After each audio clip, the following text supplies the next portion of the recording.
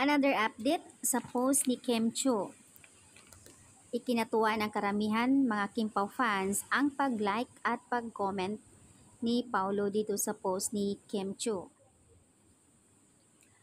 Vayu Philippines, keep your eyes peeled and we are about to let you in on ABS-CBN Studios and Vayu's highly anticipated collaboration project for 2024 to be produced by Dreamscape PH.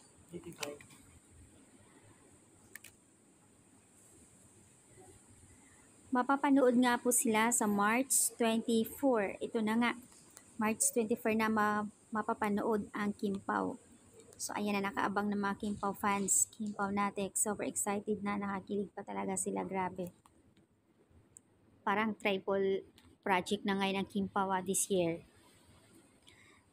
At syempre naman, kinilig ang karamihan dahil sa pag-comment, pag-like ni Paulo dito sa post.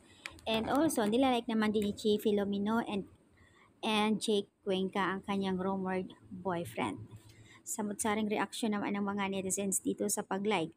And first time nga na ginawa ito ni Paulo yung pag-like doon sa post ni Kim. Grabe nga naman, magpasilip ang Vayo, sobrang nakakilig. Kaya naman na-excited ang karamihan dahil nga napakaganda at meron talagang silang scene dito na sobrang kilig na kilig ang karamihan. Team Kim Pao Abroad, ayan, nag-comment and very excited for this. Thank you so much. At Vayo PH, ang bilis ng clip pero sa aming mga fans ay gagawin namin itong 1 hour, haha slow mo, eh, slow mo ang gagawin yung scene doon na may harutan sila. Ang himlay na naman mga kimpaw, ang akala ko sa linlang lang ang mayroong ganitong scene. Meron din pala dito sa WWSK. Grabe na kayo. Halata na kayo, Char. Gumagwapo lalo si Pao o. Palagi nakangiti as usual, Chu, she's blooming ayon sa karamihan alam na this kung bakit may mga ganun kayo. Basta kami kinilig lang kami sa inyo, tuloy nyo lang, deserve.